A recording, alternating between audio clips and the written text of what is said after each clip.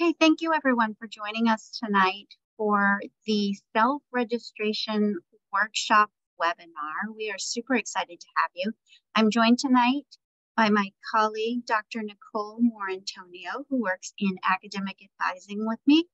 And we are joined by uh, Kristen Ball and Erica Jackson, um, both who, of whom work in our registrar's office. So I will pass this off to Dr. Morantonio and we will begin. Great. Hello, all. Welcome, and we're going to get started.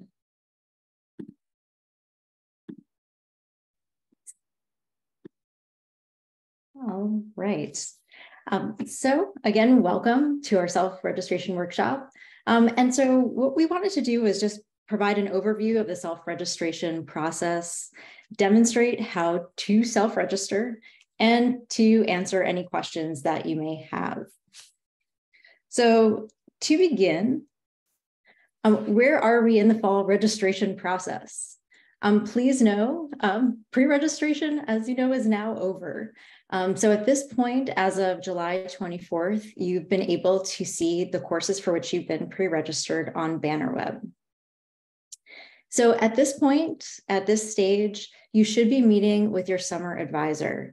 Um, these meetings are intended to help review the courses for which you've been pre-registered um, and to strategize for self-registration.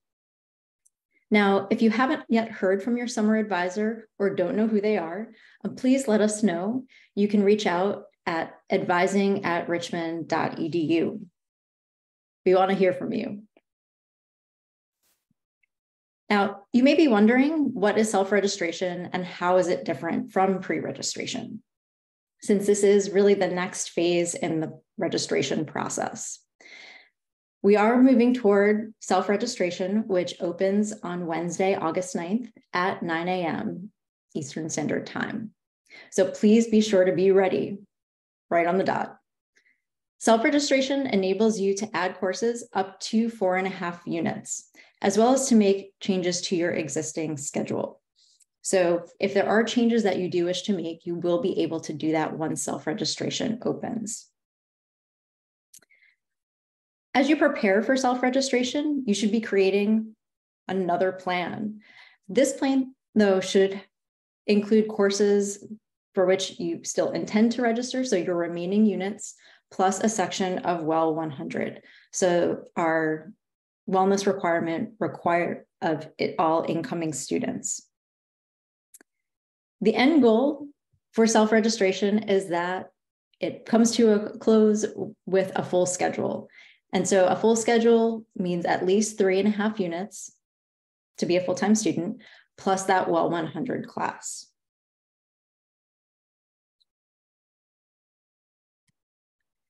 Now, now that this is kind of the basics of self-registration, we did want to address a few questions that we've heard um, and want to, to hopefully answer right off the bat.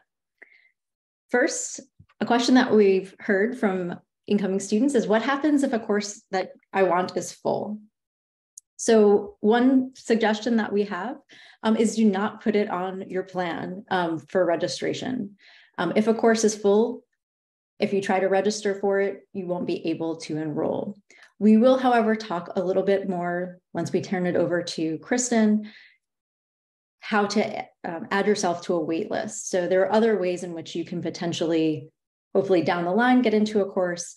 But if you aren't able, if it's currently full um, and there are no seats remaining, it's not recommended that we that you put it on your plan now. Thank you, Dr. M.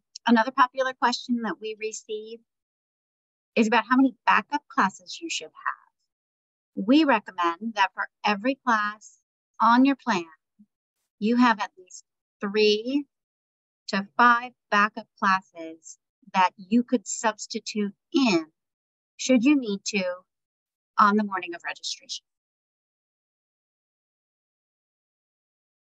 Next question. What if I want to switch my FYS?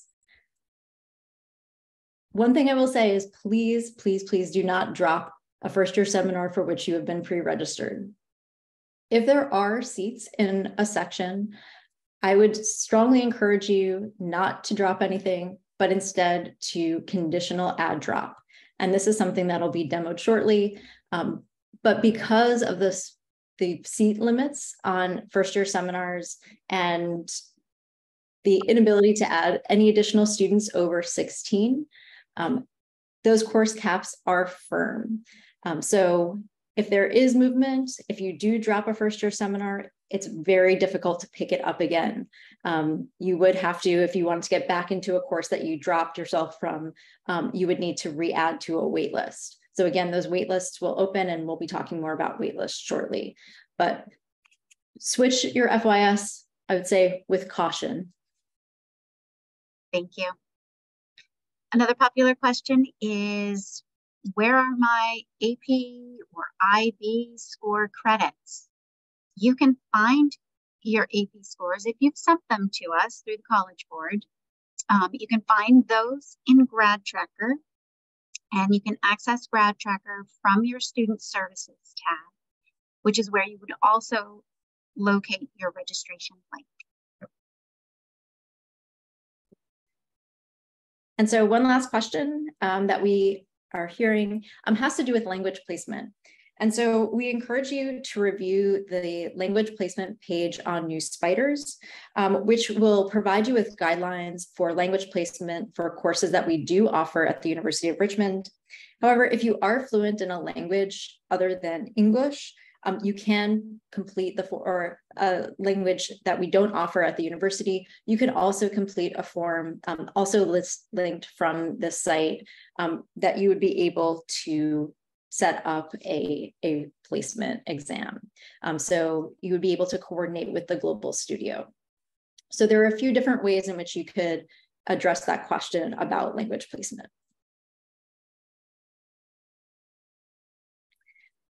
And so at this point, we know that there are a few questions in the chat. We're going to hold those until the very end of the webinar um, because we are recording and want to make sure that these questions are saved um, and that you have a reference to refer back to. So at this point, though, we'll be turning it over to Kristen Ball, our university registrar, to demo how to go about this pre uh, self-registration. Thanks, Kristen. Thank you, Nicole. Thank you. I'm glad everybody's here tonight and I'm excited to be able to show you how to do the self-registration on your own. Um, let's see, I'm gonna stop your screen sharing, Nicole. Go to mine. Okay, so I have logged into BannerWeb. Um, I've logged in as a test student and this is our test system. So things might look slightly different, especially in terms of course caps and things like that, but the process is the same. Um, so you should all be familiar with Bannerweb. That's where you made your um, plans for pre-registration and you're going to go back here to register as well. Once you log in, you're going to go to your student services menu and then registration and then student registration and then student registration self-service. And you'll get back to a page that looks familiar. It is like where you um, made your plans before.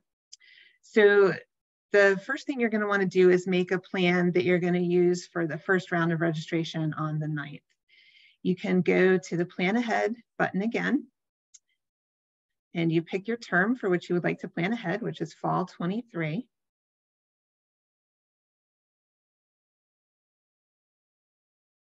Okay. And here you can, you see that your, your plans from earlier um, that you made and you can keep them or you can delete them. If you want to delete them, you just use the delete button here to get rid of them. Um, but you can also keep them if you wish. Um, and I'm going to make a new plan by clicking on create a new plan. Now, in this view, I can see the classes for which I was pre-registered for. Um, I have two, I have an FYS and I have my art history class. So I'm going to be planning around those classes. Um, I'm going to do a search and you can search by subject. If you just type any part of a subject, it will pull up anything that has that part of the subject in it. You can enter more than one subject into the search bar. Um, I recommend just doing one at a time just because it would be pages to scroll through if you do um, enter multiple um, subjects, but you can. So I've picked my subject. I want to look for a biology class and I'm going to search for biology. Now in the planning view, when you search for a class, it pulls up every class in the catalog. So it's not necessarily classes that are being offered in the semester, but it's every possible class. Um, so I just wanted to show how you can tell if there's an actual section of that class being offered um, in this particular semester. Um, so say I was interested in biology 216, this botany class. If I click on view sections and nothing comes up here, that means that that course is not being offered in the fall, so I should not choose it to add to my plan. I also wanted to show how you can see if you are eligible to register for a class by having the required prerequisites or restrictions or things like that. So say I was interested in this human physiology class and I clicked on view sections. There is a section of human physiology being offered in the fall. I can see the times and days. Um, I can see the seats remaining and I can see the instructors. If I click on the course title, I can see additional information. I can see the course description and also any text that applies to that particular section. So here it shows that this class has departmental approval required and you have to contact Dr. Vaughn if you would like to register for the class. I can also see any um, restrictions on the class. And this shows me that I must be in one of these schools, which all of you are in the School of Arts and Sciences. So if you're if that's on the list, then you are eligible to register. It also shows that this class requires a departmental approval as we saw on the course description with the contact information for Dr. Vaughn. There's not always contact information for the um, departmental approval. So if you don't see that in the course description, you can um, look at the directory and contact the department chair and or their admin um, to get more information on that process to see if they're able to do a, um, a departmental approval. Another good thing to check are your prerequisites. This tells you what classes you have to have taken before you can take the class. And in this case, in order to take biology 220, I would need to have chemistry 141 and biology 200 or 206. Um, most of you aren't going to have the prerequisites. In some cases, you'll have AP credit that will be the prerequisite, and you'll be able to see the AP credit on your Richmond transcript to see if you meet the prereqs. But um, in many cases, you, you won't have the prereqs. So definitely check for prerequisites before you try and register for anything. If you don't have them, then you won't be able to register for the class. So I can get all that information by clicking on the course title. So I know that I can't add physiology because I don't have the prerequisites. So I'm going to look for something that maybe I can add, such as a 100 level, so an entry level biology class. In this modern concepts in biology looks interesting. So if I go to view sections, I can see that there are four sections here. I can see what times and days they are, so I can try not to have them interfere with the classes for which I'm already registered. And I think I like this one with the Thursday or the Wednesday afternoon lab and the class on Tuesday and Thursday. So I'm just gonna click add and you can see it adds in the bottom right corner of my screen to my plans and it shows as pending. Um, in addition to biology, I think I would like to take a history. So I go back to the search again and I can change my subject out for history. And I can search history and view the sections of History 199, which is a nice entry level class. And I think that this one, I can also see here what um, requirements this class fulfills. So historical studies is one of our gen ed requirements, and I can see that this fulfills that requirement. So I'm going to add the history to my plan. And then finally, all first year students are required to take the Well 100. So I'm gonna add a section of Well 100 to my plan also. Um, and there are lots of sections of Well 100 spread across the day. Um, they meet once a week um, for an hour and 15 minutes. So I will just pick um, a section of that and add that to my plan as well. When I'm satisfied with my plan, which I am just putting on two units because I'm only allowed to register for up to four and a half units and I'm already in two units, I'm going to save my plan. You can name your plan anything you want this time. There's no restrictions on the naming like there were for the first round. So you can just call it whatever you want and save it. So my save was successful. If there was an error, I would have a red box up in the upper right-hand corner um, and it would tell me what my errors were. But now I have a plan. Now, one other thing you're gonna wanna do when you've made your plan is to add a note to just one of the classes. This is gonna be important later when you go to register from a plan because it will allow you to enter all of the classes at once into registration instead of doing them one by one. It doesn't matter what the note says, um, this is not a ranking system. It's not going to impact what you know, the order it looks for classes. There just needs to be a note of any kind on one of the classes. So I'm just going to use my initials, click save, and I can see that I have a note by the red check. So now I'm happy with my saved plan. And I can go back to the plan ahead and it will show me my saved plan. So this is my test plan that I just created. It's the first plan I have, so it's already marked preferred. If you have other plans, if you wanna save the plans you originally made or whatever, um, you can change the new plan to preferred and that just makes it pop to the top of the list so it'll be easier to find when you do go to register. Um, but if you leave it as non-preferred, you'll just have to look for it further down the list. And again, if I want to change my mind between now and August 9th, I can do so by editing. Um, I can delete the plan and start over. I can do any of that um, if I would like to do so. So I have my plan. You can make multiple plans. So you can make a backup plan if you would like. You can have up to three plans um, in the planning. You, you don't have to register from a plan for the first round of self-registration. You should make a plan, but then when you're going to fill in, like say you only get one of the two classes or something like that, you can either register from a plan or register individually for classes. So I'll show you that in just a minute. Okay, so it's time to register. It's 8.55 on um, August 9th, 8.55 Eastern, and we're ready to get we're about to get ready to register. So you'll log in and this is where you'll see for registration. And this time you're gonna want to go to register for classes. Okay, when I do that, I get an action item processing. You can also do this ahead of time, which actually I would recommend um, because you're gonna um, not wanna have this blocking you to get to registration, but um, you have an action item that you have to do sorry, I canceled instead of hit continue. When you get here, you're gonna wanna hit continue and you'll see on the left what the action item is. It's your financial responsibility. So when I click on that, just anywhere in that box, it brings up the financial responsibility agreement. Um, feel free to read through this. It basically just says that um, you understand that you're registering and you're gonna need to pay for the classes and some other caveats to that. So click agree, click save, my save was successful.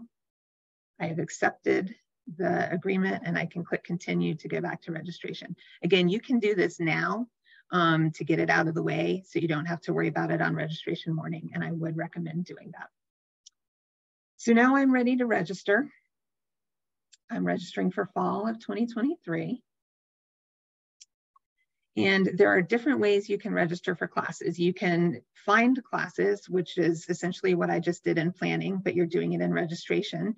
That will take time, of course, so we recommend that you have a plan for your first round. And then if you need to do, fill in, you can come to find classes.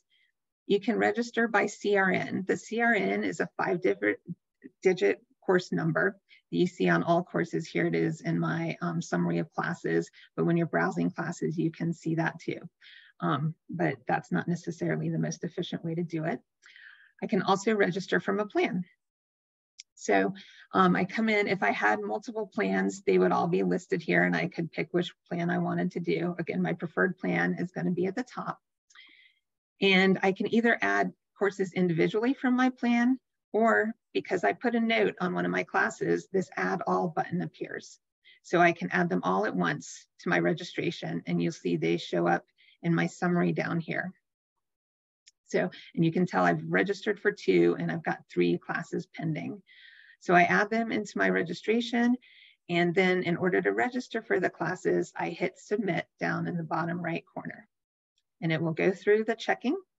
And now it tells me that I am registered for all of these classes. If I am unable to register for a class, it will give me an error message in red telling me why I can't register, whether it's the class is full or I don't have the prerequisite or it's a time conflict or something like that. It will let me know what the issue was so that I can sort that out. Um, you see that I'm registered. You can see in the schedule view on the left side, my uh, picture view of my schedule, if it helps me to view it like that.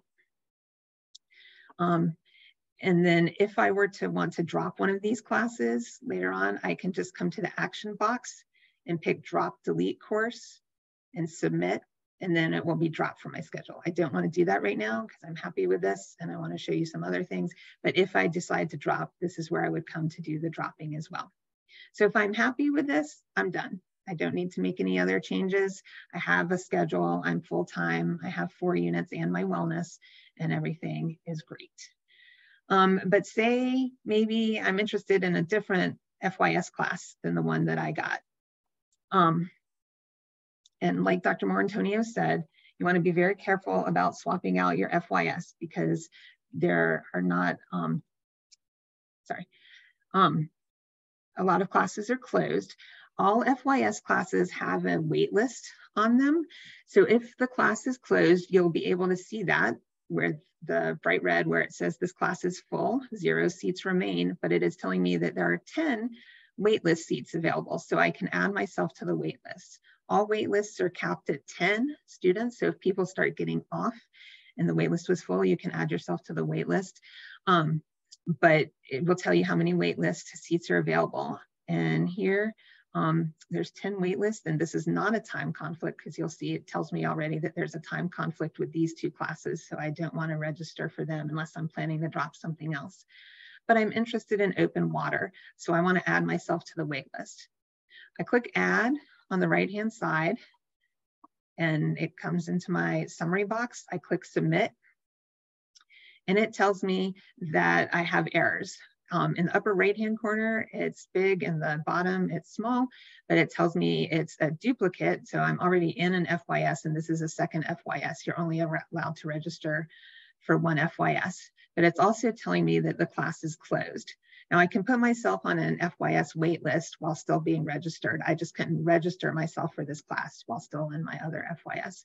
So to put myself on the wait list, I click the drop down box and I click waitlist and submit and now I'm on the wait list for open water. Um, the wait list is automated and it will turn on as soon as registration comes on. So you can start adding yourself and if a space becomes available, you will get an email saying that a space has become available for you in the class.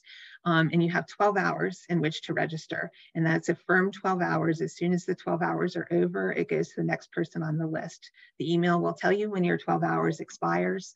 Um, so just pay attention to that. And if um, you don't get to it in the 12 hours, like I say, it goes to the next person on the list. And as Dr. Morantonio said, if you drop a class um, that has a wait list on it, you won't be able to get your seat back. You'll need to put yourself on the wait list. So please be careful, especially with FYS, about making sure that there's an actual seat in the class before you do a drop. Okay, so now I am on the wait list for this class. Um, now I'm rethinking my schedule, thinking, well, maybe I actually want to swap some of these classes out. I think I would like to take a rhetoric class. I'm going to look for rhetoric. And I just typed RHC because those letters are in the subject code. And then I click on the subject and I click search and I see the rhetoric classes that are being offered this semester. So I'm interested in registering for this interpersonal 102, but I see it's a time conflict. So I'm gonna, I still wanna add it into my plan. So it's, it's in my plan now.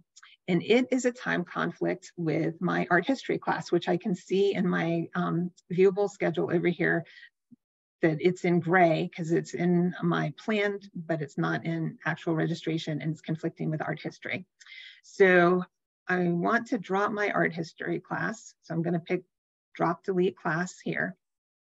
Um, but I only want to drop art history if I can definitely get that seat in rhetoric. So I'm going to do a conditional add drop by clicking the conditional add drop box at the bottom and clicking submit. And it was able to successfully register me for interpersonal. So then it dropped me from the art history class. Now the art history class is still here if I want to get rid of it because I don't like the view and don't like having to scroll through it. If I click submit again, it will make the art history class disappear from this slide. And you can see that now I'm registered for interpersonal and no longer in art history. But let's try a conditional drop add on a class that I'm not going to be able to get into. So I'm also interested in public speaking.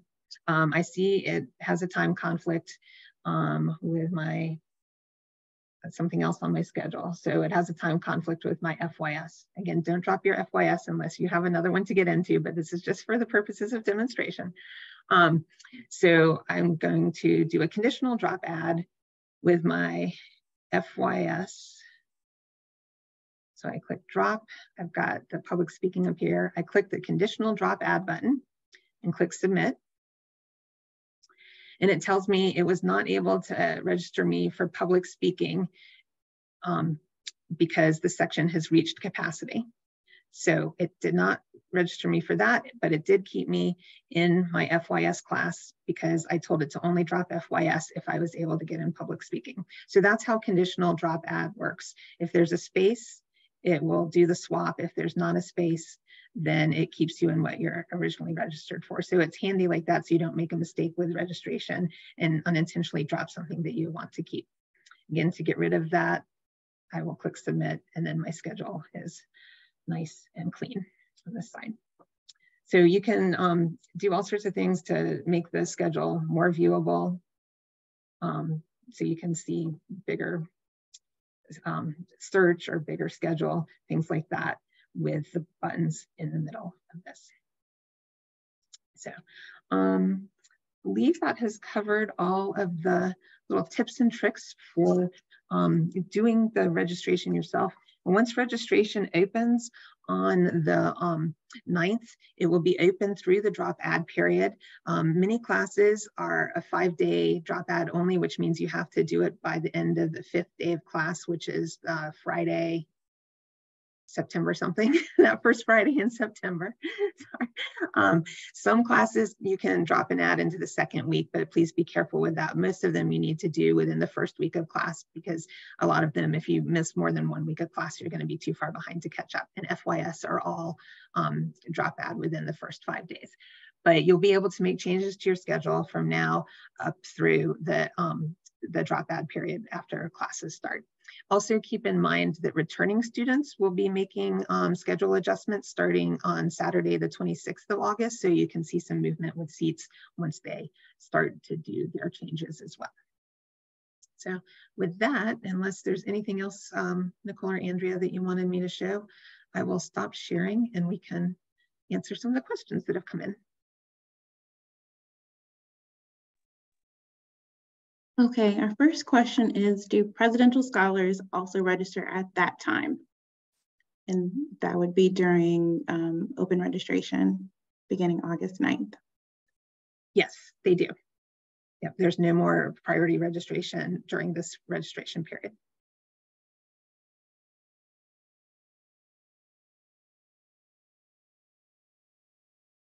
Next question is, so just to confirm, we need to register for a wellness class as well? Yes, everybody needs a Well 100 class. Okay. Um, the next question, I think maybe more um, of a personal question and I might need to talk with the advisor, but the question is, my son is registered for two FYS classes in history, so all he needs is one wellness and one foreign language, or if not foreign language, two other classes of any kind. Um, and so I think with that question, it'd probably best to talk with the advisor um, to determine exactly what that schedule looks like before we give you a definite answer on how that schedule looks. Um, next question is, so for each class, including our FYS course, we should add three plus backups on registration day. Andrea, do you want to take that? I can take that one. I can clarify my answer. Um, so when when you're creating your plan, if you're going to use that plan for registration, you only want to put the two classes and your well 100 on that plan, run it. I like to have on a piece of paper next to me or a spreadsheet on a second screen a list of backup CRNs for each of the classes that I'd like to get into, just in case when I hit submit, one of them comes back full. I can quickly, at a glance, locate what backup would work for that time slot or subject or any number of things. Um, that's that's how I think about that as far as backups are concerned. Thank you. If a class here says there are no spots available, does that mean we cannot register for it during self-registration? Yes, if a class says that it's full and has zero of however many seats available, then that means you can't register during self-registration. Now you can keep checking back because it's possible that another student would drop um, and you can get in. If the class has a wait list, go ahead and put yourself on the wait list um, and um, hopefully your number will come up with, with the wait list. But again, keep checking your email too if you are on a wait list because those are automated. They might come at 4 a.m. and give you 12 hours, um, but you'll want to keep an eye out for that. Thank you. Um, can you repeat why we need to add a note for when we register for classes? You had gave that demo on adding the note next to the plan. Yes, when you need to add the note so that when you go to register from your plan, you can add all of the classes at once with just one button instead of adding each class individually from your plan into the registration. How can we fill out the financial responsibility before registration? If you go ahead and click on the register button, you can do that. Um, and also if you click on the sorry, I'm going back, prepare for registration in that same window, you should get the financial responsibility form then. Thank you.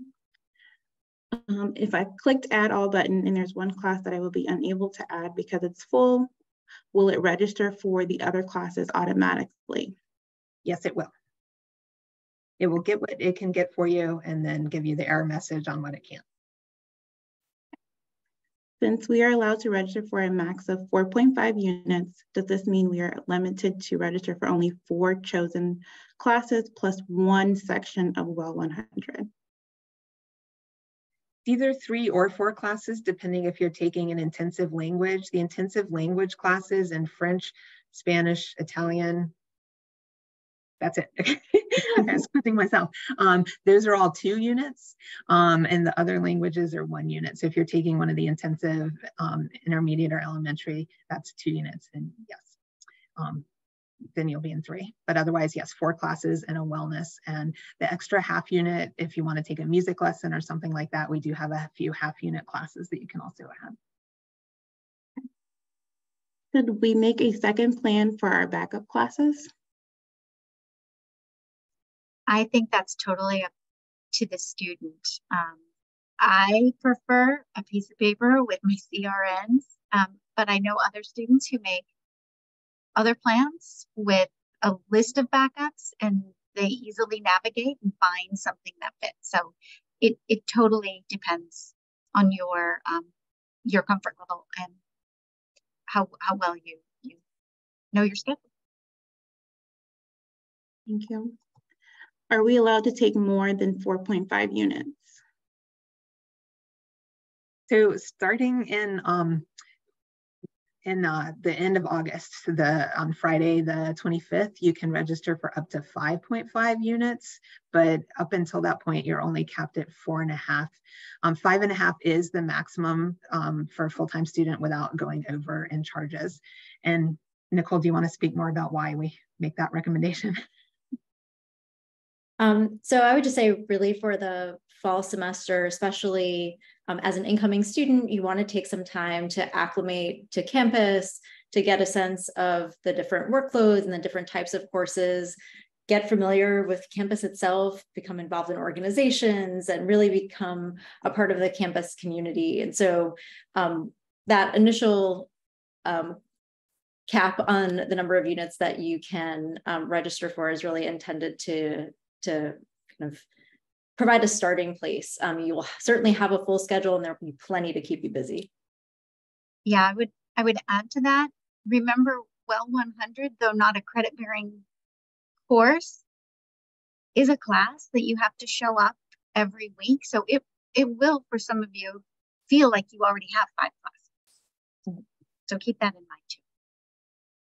And I always also like to remind people that um, it require we require 35 units to graduate, which means five semesters you can take four units, and just three semesters you need five units. So four units is not at all outside of the norm. Thank you. Do freshmen have to register for a language class? So I'll jump in on that. Um, so the short answer is no.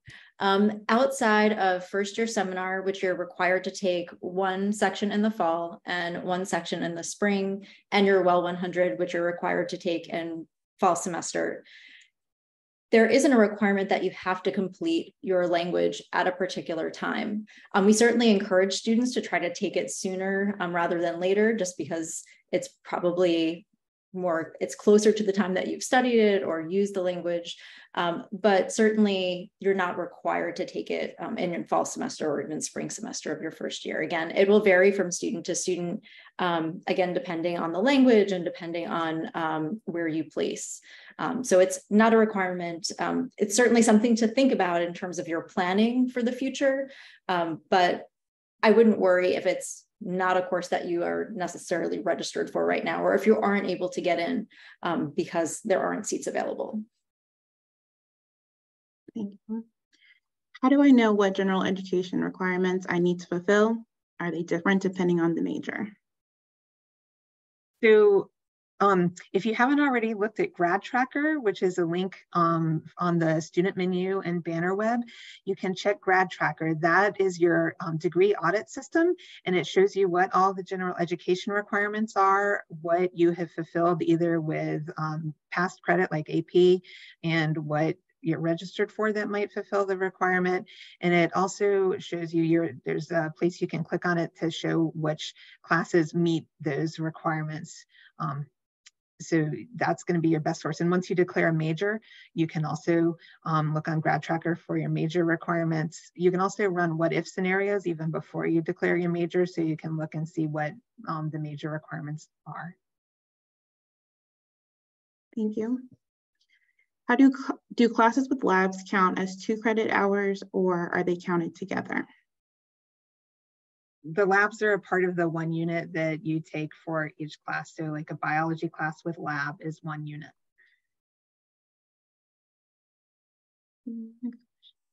Another um, about presidential scholars, um, just want a little bit more clarification on what is priority registration for them and were we able to pre-register already and recently found out who their advisor is I just need a little more clarification. Um, so presidential Oliver Hill scholars get priority registration along with other designated scholar groups and priority registration is usually um, the afternoon um, before registration starts during the year. For this summer, we did priority registration for those designated groups um, before we did the preferred plans for the non-designated um, groups. And at this point, everybody's going into registration on the 9th at the same time because they've the priority people have already gotten their priority registration. I think, Kristen, um, presidential scholars don't get priority. It's the Richmond scholars who do. Presidential Oliver Hill get right, but not not without the Oliver Hill part. Right.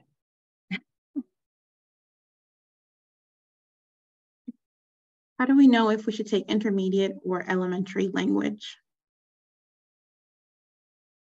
So I'll jump in on this. Um, so I would refer back to the language placement. We'll put it um, in the chat. Um, the language placement site um, on New Spiders provides you with all the information on the placements for the different languages that we offer, um, and also some guidelines depending on how much experience you have um, previously studying a language. So I would point you to that as a reference. Um, some of the placement exams are offered depend um, they're offered online and in some cases you may be able to find out your placement immediately. Um, so I would certainly recommend um, checking that out soon. Thank you. If I click on the registration menu and it says you're not permitted to register at this time and nothing else comes up, does that mean I already filled out the financial responsibility? Is there some way to check if I did? Um, honestly, I'm not sure. Um, that, oh, Andrea, go. Yeah. Instead of clicking on the register link, click on prepare for registration. Okay. And then you can see. Yeah. And if you have questions about the um, the tuition payment agreement, the Bursar's office um, can also talk you through that. They're available at bursar at richmond.edu. Another language question. If a student is starting a new language, do they need to, in Latin, do they need two semesters to meet the requirement? Um, so this is a good question, and um, I'm glad that this um, question specifies which language, um, because as Kristen mentioned, for students who are taking Italian, French, or Spanish, because those are offered as intensives, those are two semester requirements. Um, however, if you are, say, beginning from the start um, a language like Latin, um, that is a one unit course over four semesters. Um, so students would be required to take that language um, for four semesters. Thank you. Would listing backup classes in a separate plan be easier to add in quickly? Um, I, I don't know. Kristen, what would you say? Um, I mean, you you have to toggle back and forth between the plan and the registration versus looking up classes or typing in CRN. So it's how fast you toggle versus how fast you type, potentially, I would say. Um, but if you do make a second plan, make sure to put a comment on one of those classes too, so that you can do the add all instead of adding one by one. And our last question, if we're taking an intensive language class, since it's two credits, will we only have three classes plus the wellness first semester? So yes, um, so if you're taking an intensive language, you would have that class, um, which is two units, your first year seminar, and one additional unit, um, plus your well 100. So um, that would bring you to, to four units. Um, even though the intensive language is one class, um, there is a reason it's two units. Um, so it will keep you um, in class a number of times, seven times total uh, during the week. So there'll be plenty to keep you busy. So that will bring you to the total of four units. So yes, the intensive language, your FYS, one additional course, and your Well 100. Thank you. Um, what happens if your Wi-Fi goes out during pre-registration? It, it is a timed registration. So if you do lose Wi-Fi or you think there's a possibility of you losing Wi-Fi, um, please contact my office at registrar at richmond.edu and we can talk to you about proxy options. But um, once you start registering, if it goes out, unfortunately, we can't make any accommodations for that. So if you think you're going to have sketchy Wi-Fi, get in touch with us.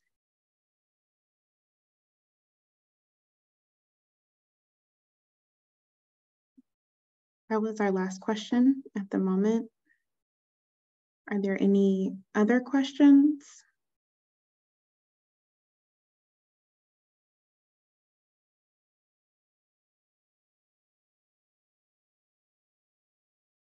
Okay, none have popped up in the question and answer field. Thank you, Erica, for facilitating those. And, and thank you all for your questions. Um, they were great. If in the next um, next week you have other questions pop up, please don't hesitate to reach out to your peer advisor, your summer advisor, our office, the registrar's office, if appropriate. Um, there are, are many people surrounding you for support during registration. we had one more question pop in as you were talking. Um, it says, so if I have holds, does it mean I'm filled, that I filled the financial responsibility form? If you have no holds, nothing shows up when you click prepare for registration and it says you're eligible to register, then yes.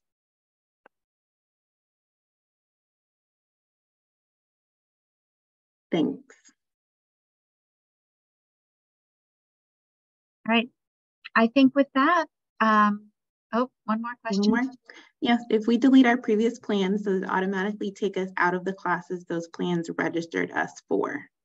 No, the plans are separate from registration, so you can delete a plan, you will still remain registered.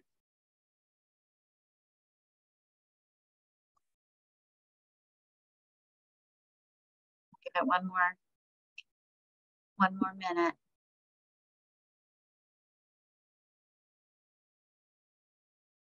Can a student take a language placement test after their first year? Yes. Yes. Probably recommended that you take that placement exam right before you're ready to start taking your language so that you have the, the most, most um, accurate picture of, of where you are in that study.